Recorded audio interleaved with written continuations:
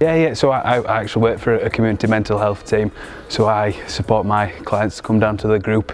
It really complements the work that we do around, um, for instance, if people struggle with anxiety, depression, psychosis, it really helps um, with the care plans that we focus on.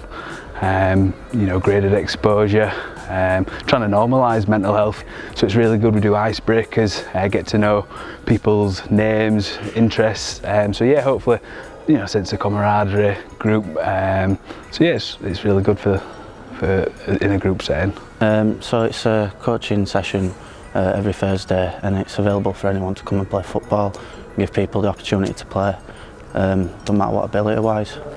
There's like a ability counts league that's done every um, few months and that's in like a tournament format and um, yeah it's an opportunity to play competitively. So the drills, you know, alongside trying to help people develop the skills, um, I think a lot of it's about confidence building, uh, communication, getting to feel comfortable with the peers amongst the group.